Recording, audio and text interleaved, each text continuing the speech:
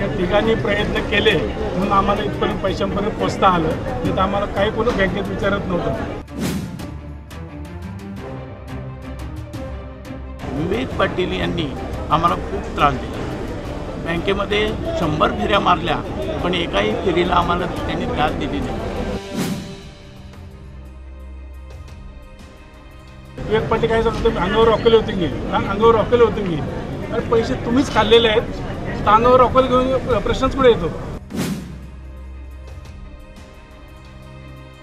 किती वेळा त्या बँकमध्ये कर्नूल बँकमध्ये मी फेटारल्या तिथं आज देतो उद्या देतो. असं मला जातो पण शेवट पण अजून पण दोन वर्ष झाली. एक नाही नाही पैसा सुद्धा मला भेटला नाही. आम्ही काय पैसे बुडवतो काय? आमच्यावरती विश्वास ठेवा. मग हे कसं काय एकच विश्वास करणारा बँक मग हे हाच काय विश्वास दाखवला त्यांनी. पण आज आम्हाला समाधान वाटलं की आमच्या बालदी साहेबाई आणि आमच्या प्रशांत साहेबांनी आमच्यासाठी या गोरगरिबांसाठी चांगली आणखी मेहनत घेतली आणि हे आम्हाला पैसे दिवाळीपर्यंत मिळतील हेच आणखी योग्य प्रकारचे शब्द आमच्या कानावर पडले.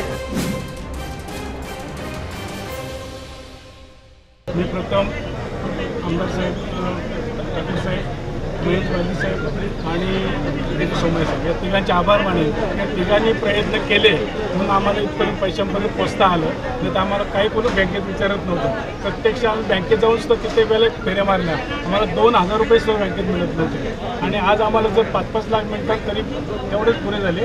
कारण पैसे पुढेच चालले होते. जवळजवळ विवेक पाटील काय सांगतो तुम्ही अंगावर रॉकेल होते की. अंगावर रॉकेल होते की.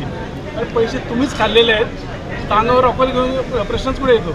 रॉकेल काय कोणी आणून द्यायला पाहिजे आणि पैसे सगळे विवेक पाटलेच खाल्लेले आहेत त्यामुळे बाकीचा प्रश्नच पुढे येतो पैसे आणि खातेदाराचे पैसे आता काल सुद्धा एक परिपत्रक निघालं शेका पक्ष कार्य नाव नंबर द्या आणि यांच्या तुम्ही एवढे हो- याच्यामध्ये करोनामध्ये माणसं मेली या दोन वर्षाच्या काळामध्ये.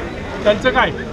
आज यशवंत मेहर यशवंत नारायण मेहर सारखा माणूस सोळा लाख त्याचे आहे पण पैसे मागायला बँकेमध्ये किती वेळा गेला होता? त्याचं. काय त्याला काय करणार?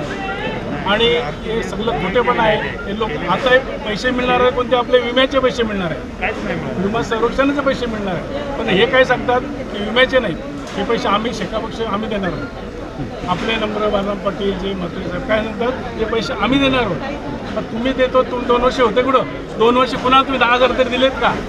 बँकेतून लोक रळत बाहेर पडायची. त्यावेळेला कुणाला तुम्ही पाच हजार पण दिले नाहीत.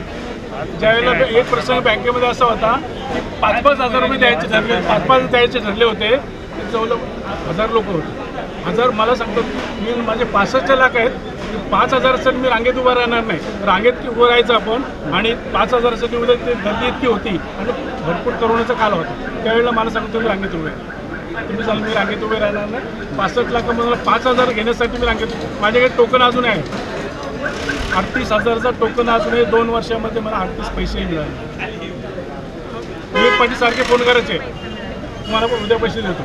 उद्या पैसे देतो बोलल्यानंतर आपण उद्या बँकेतून लगेच फोन यायचा की आज तुमच्या पैशांची सोय झाली नाही नंतर तुम्हाला आम्ही कळू नंतर कधी कलवलं नाही. विवेक पाटील स्वतः बोलायचे घेतले तुम्हाला पैसे देतो. तरी एकही नवा पैसा मला अजून मिळाला